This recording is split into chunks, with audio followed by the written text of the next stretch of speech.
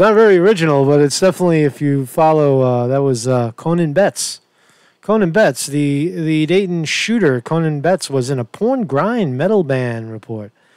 Oh boy, watch out, watch out, man. So that means he's a that means he's a Satanist too, right? So let's talk about this. Um, let's talk about this kid, right? He's a you know the Conan Conan Connor Betts is the Ohio shooter, shot nine in Ohio. Let's find out more about the psychology of the killer, the psychology of the killer, because that's really what it's about.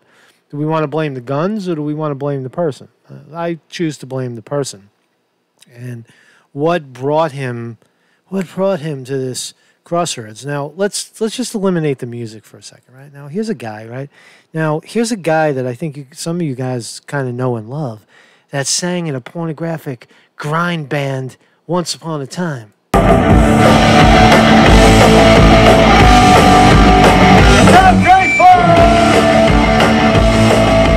He looks familiar, right?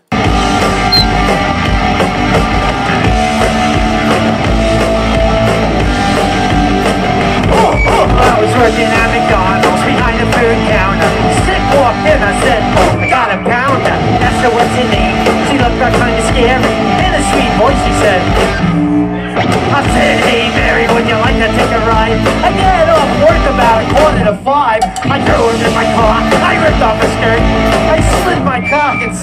watched the blood squirt. Oh, Bloody Mary. Oh, Bloody Mary. Hope it didn't hurt. Oh, Bloody Mary. Oh, Bloody Mary. Sorry I ripped your skirt. So you get the point.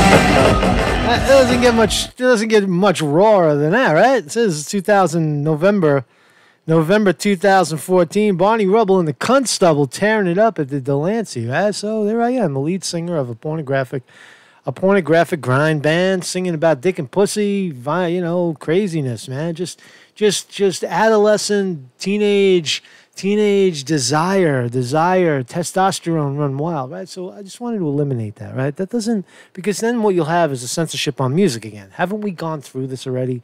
That the music, it is a reflection of the person sometimes, you know, like I, I'm singing about, you know, Ziggy the Midget and his six foot prick. I'm singing about butt slut. I'm singing about we stick our dicks in retarded chicks, right?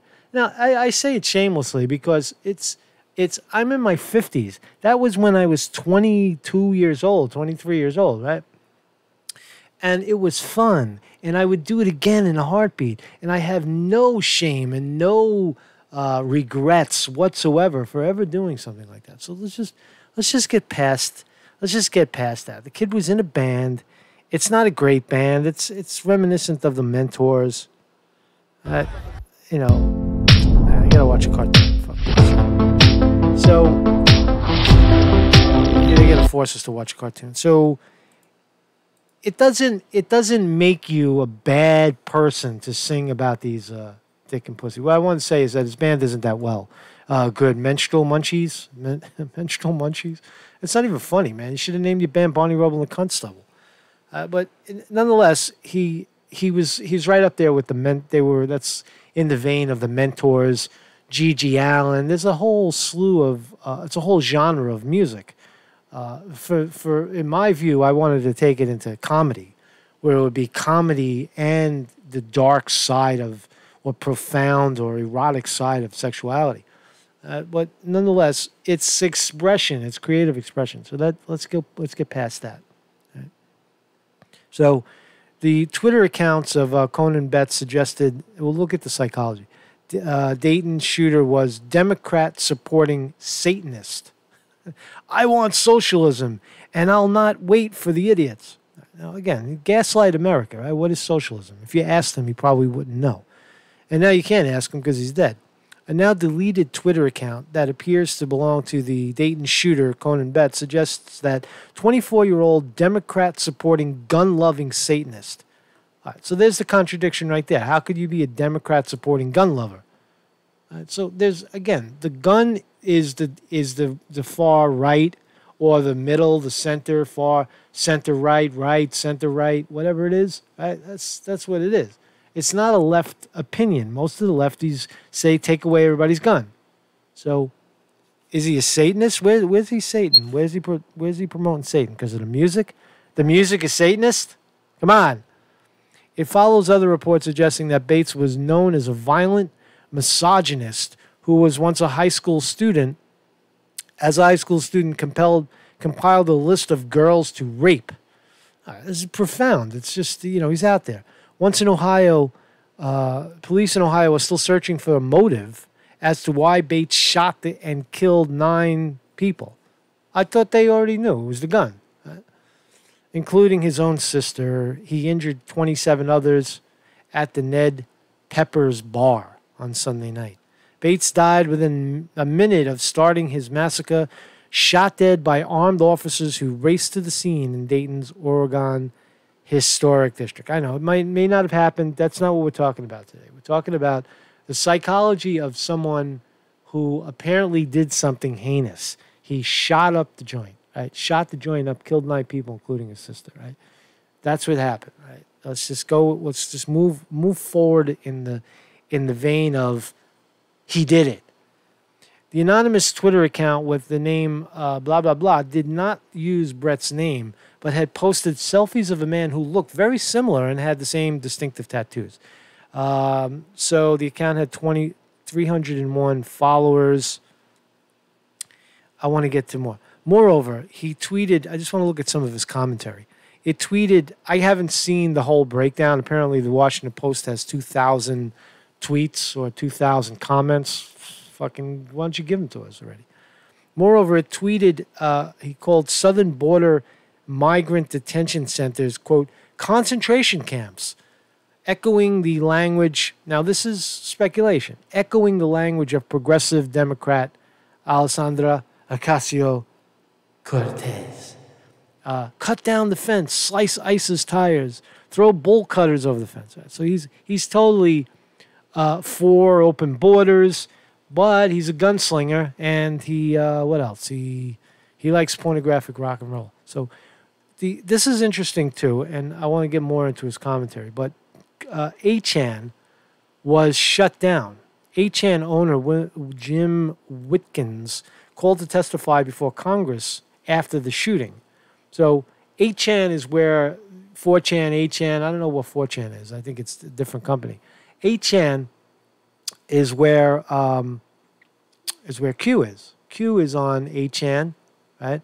And all these uh, these uh, guys seem to be posting their manifestos and their chats to 8chan. So what's the what does the government do? Shut it down. Right? They yank their server. They yank their uh, service provider. It made it very difficult. So on online message board 8chan for, uh, fortunes worsened on Tuesday as the site was once again made homeless by a technical service services provider and its owner was called to testify before the U.S. Congress. The House of Representatives Homeland Security Committee demanded that owner Jim Watkins, uh, an American living in American living in the Philippines, testify about 8chan's efforts to address quote the proliferation of extremist content, including white supremacist content. Right, so there's nothing more to really talk about there. So that's censorship. I mean, you know, it is censorship. The kid didn't post anything that was I don't know, was is illegal. You know, he didn't he didn't post snuff videos of murders. He didn't. There's nothing illegal about speech, is what I'm trying to talk about. There's there's there's trying to say there's nothing illegal about pornographic rock bands singing about dick and pussy with a mask on. It's not. There's nothing illegal about it. It's free speech so far. So, so here he is, inside the dark dark thoughts and far left leaning of Dayton shooter Connor Betts. And there he is. Seems like seems like kind of a you know regular, definitely white, definitely you know fucking white. Is he Jew? I don't know. A Jew isn't white. So Dayton killer Conan Connor Betts online footprint provided a glimpse today into a dark into his dark thoughts and far left political leanings even as investigators work to pin down a concrete motive. Quote Millennials have a message for Joe Biden's generation hurry up and die. That's figure of speech, right? Did he mean it literally? Well, he is a mass murderer, but did he mean it literally? Did he, does his words, hmm, hurry up and die? Did he say, I want to kill Joe Biden? No, he didn't. He said, hurry up and die.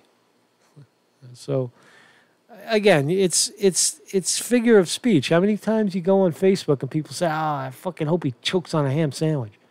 I, I hope he dies." Trump, I hope he fucking falls down the stairs of, uh, you know, of uh, Air Force One and, and and breaks his neck. Right? People say stuff like that. They're not. It doesn't mean that.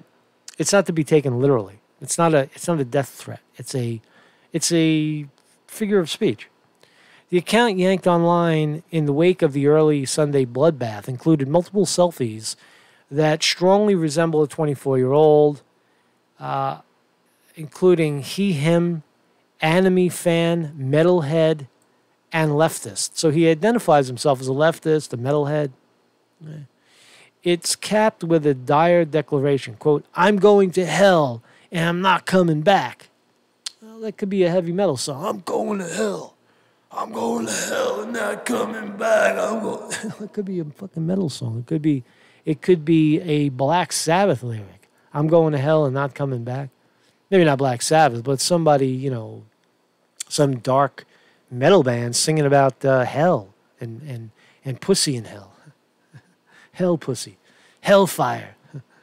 The account fired off thousands of messages, including some supporting presidential hopeful Elizabeth Warren and Bernie Sanders. Oh no! Now he's a Bernie. He's a Bernie bro, and Elizabeth Warren and Bernie Sanders, and sometimes violent Antifa or anti-fascist movement. Uh, so he, he anti-fascist movement. So he is uh, sometimes. It doesn't say. I want to see the message, according to the Washington Post which snagged over 3,000 of the tweets before the page was deleted. Well, get, fucking choke it up, Washington Post. Let's see what, what it said. Uh, they include em- embraces of far left stance and politicians, including Elizabeth Warren, Bernie Sanders. All right, we just read that. Why did they say it twice? I want socialism, and I'll I'll not wait for the idiots to finally come around to understanding. Let's see what the gentleman thinks of what is socialism. His idea of socialism is social programs for the people, a la Bernie Sanders, a la Elizabeth Warren. Now, in terms of, I agree with that half of it. So that makes him his his policy, his thought on what he thinks of socialism is actually a very American centrist uh, view of social programs for the people. So it doesn't necessarily, that part of it doesn't make it a, him a leftist. Standing on the border, wanting to cut holes in the fence or the border wall, knock down the border wall, is a far left opinion. Now, to arm everybody, he says that elsewhere, arm everybody is a far right opinion. So you see how each of these guys have a a left, a center, and a right opinion. It's it's a purely American opinion. So his view on guns it, he's I mean I I agree with with two out of three. I don't agree with the border stuff, but I agree with the guns, and I agree with the the economic democratic socialism of Bernie Sanders and Elizabeth Warren. So so he's other quotes. Cut cut the fences down, slice ICE's tires, throw bolt cutters over the fence, read one of his messages. Quote, losing your personal information is a massive data breach. It's just a thing that happens now like 110 degree days and regular mass shootings. Another quote. So he's he's saying he's for climate change. He believes climate change is real. He, regular mass shootings are occurring. That's not nothing new. And data breaches. That would be something Q would say. You're losing your information. The deep state. So it's it's a mixed bag of ideology so far. Let's continue. So he, he encourages people buy a gun and learn to use it responsibly, it reads. You may need to protect yourself. Well, that's a right, that's a right, center right, center, center right opinion of gun control. Everybody, the, the Second Amendment, right to bear arms. Betts' attack came only 13 hours after blah, blah, blah. See any more quotes? He shot his sister. It's crazy. Um, his girlfriend said he would cry to me sometimes. He was such a sensitive boy. The man that was so sweet to me and told me he loved me was a mass murderer, wrote uh, his g- former girlfriend. I kissed the mass murderer. So here he is in full costume, mentors. If you don't know who the mentors are, I'll show you. The, it's not it's not original, right? He's not the mentors. The mentors. Mentors. See, there's the mentors, right? They played in, in sheets and hoods. You know, this is the type of guy that you'd get at a mentors concert, right? Hoods, black hoods, the mentors. You know, this it's a again a long history of uh, a long history of this kind of music, right? It's not it's a genre or G.G. Allin. These are other players, right? These guys are all like psychopaths, you know. Fucking look at this guy. I mean, crazy. You know, this guy used to. He wanted his goal was to. His goal, G.G. Allin's goal, was to kill himself live on stage by sticking a stick of dynamite up his ass and blowing himself up. Now, I've seen G.G. Allin perform live, and I'm telling you, there's nobody up front. Right? There's nobody. Everybody is pinned to the back of the wall because he's a psychopath. He would throw shit at people. He would break glass and roll around on it. Now, is it is it? I'm not advocating the music. I'm just telling you that that it is a uh, it is a phenomenon. It is a a style of music, right? And should should we be should we condemn the people that that want to play rock and roll, the mentors? Should we want to should you know, or the kid that that uh, is in a pornographic rock band? No, we should not. So, whew, Marcus Conte reporting on the psychology of the killer, the psychology of the killer, right? Conan Betts. I, what is going on? What is going on? So, I don't know. It's up to you. I mean, I, I think that uh, his, I, I wanted to see his political ideology. Does it justify what the kid did? No, never, never, never shooting innocent people. You know, you, you say it's the corporations that are choking us. I want socialism now. Why didn't he go in and shoot a bunch of bankers? Why did, why did they always shoot innocent people? Why did they move to the lowest hanging fruit? Why not? Why not? And again, this is not. I'm, I don't even want to say it. But why does why do they lean into the low hanging fruit, shooting kids and shooting your sister and shoot? Why don't you shoot your mother? And um, so that is the psychology of the kid. I think that um, does it does it change anything? Is he is he that different than most Americans? It, it, I mean, there is a there is a certain anger. We need to look at the anger of people, and I say, and I have always said that it stems from abject poverty, income and wealth inequality, where uh, there's a generation of young people out there that feel like there's no hope, that there's no possibility to live a the American dream of a house, a career, go to college, pursue a career, get out of college and, and do that career and make money doing it. There's no, it, th- those things don't exist anymore. Right? You can go to journalism school and good luck getting a journalism job. You have to do what I do. You fucking just get a YouTube channel and you start talking out of the side of your head, right? That's how you do it, right? That's the now the new version of journalism, right? You don't need a, a, a career, you know, a degree to, to do that thing. So, so uh, you know, what's your opinion on the um, the psychology of the uh, killer, right? The, the other killer, right? We saw the manifesto by the uh, by the uh, the Texas El Paso, Texas kid. Now we got the a little bit more of the mo of the Dayton, Ohio killer. It's starting to come out. We'll never hear his voice because he's dead. Marcus Conte reporting.